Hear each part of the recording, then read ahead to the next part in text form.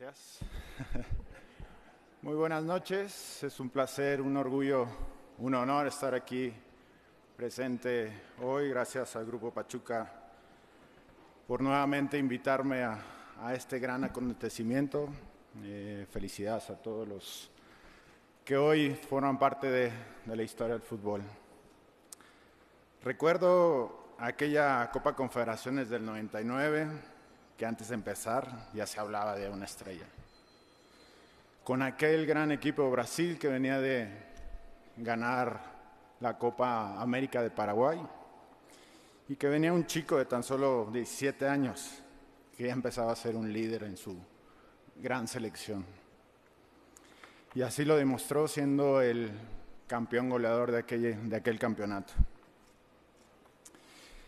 Me sorprendió tu manera de de saltar las líneas, tu capacidad de controlar el balón, tu magia para quitarte a cuanto adversario se ponía enfrente.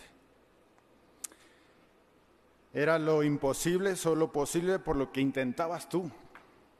Era lo imprevisible.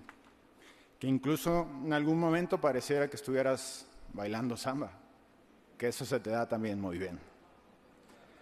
Recuerdo que al enfrentarte en aquella final de las Confederaciones, en ese entonces Manuel Lapuente me dio una importante tarea que era tratar de marcarte. Vaya tarea, ¿no, Claudio?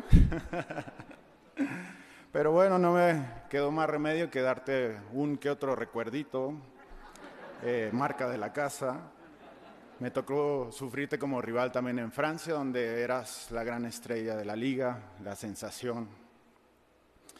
Y más allá de una rivalidad, creo que comenzaba una gran amistad que después, unos años más adelante, llegamos a un Barcelona necesitado y que hoy lo puedo decir con mucha certeza y sin temor a equivocarme, que no había nadie más, más que tú, el que podías cambiar la historia de ese gran, de ese gran club.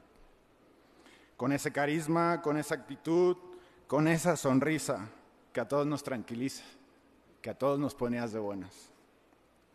Nunca hizo falta que nos pusiéramos de acuerdo, a que nos recordáramos lo que teníamos que hacer en cada partido.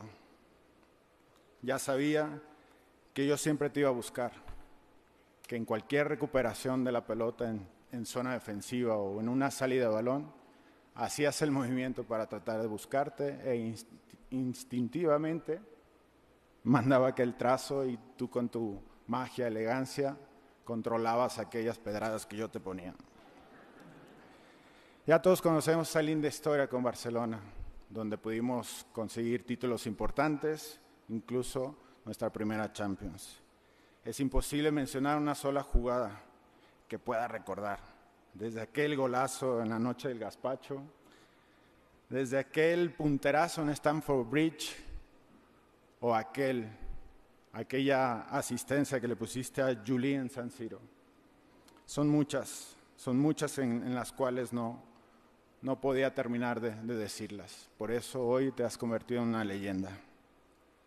Pero me quedo con aquellos momentos en el vestuario, en los entrenamientos, fuera de las canchas, donde pudimos convivir y tener esta gran amistad.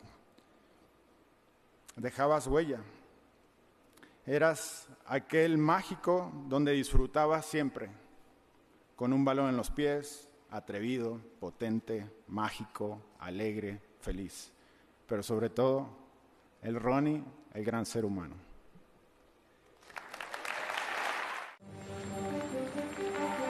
entra al Salón de la Fama.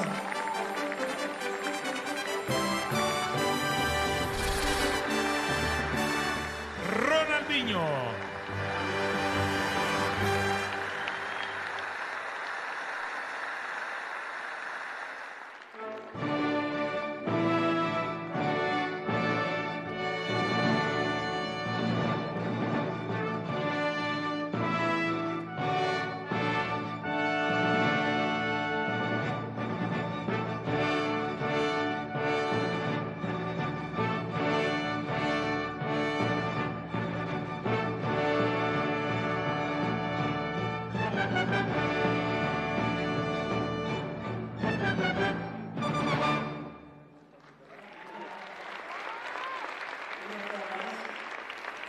Formamos para investir y dar el trofeo a Ronaldinho. Carlos Bremer, Stoikov, anda por ahí Mario Alberto Kempes y Cuauhtémoc Blanco. Ese póker no lo matas ni con quintilla.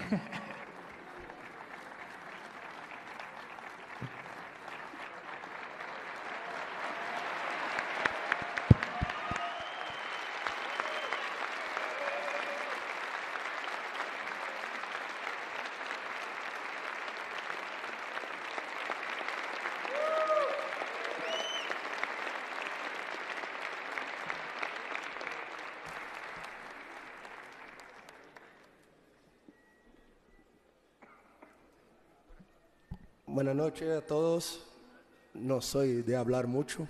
A mí siempre me tocaba solo jugar y divertirme. Pero tengo que dar las gracias a todos, no todos los mexicanos que me, me recibieron aquí con tanto cariño, no solo yo, como toda mi familia, mi hermano que ha venido antes de mí, que también jugó aquí. Muchas gracias por todo. Y contentísimo.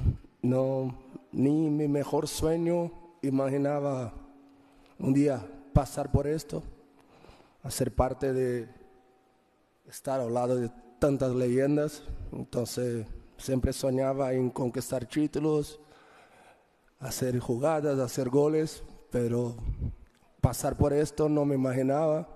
Entonces gracias a todos ustedes por gracias a todo que ustedes hicieron por el fútbol es lo que me ha dado oportunidad de soñar y también ser como ustedes. Muchas gracias a todos ustedes.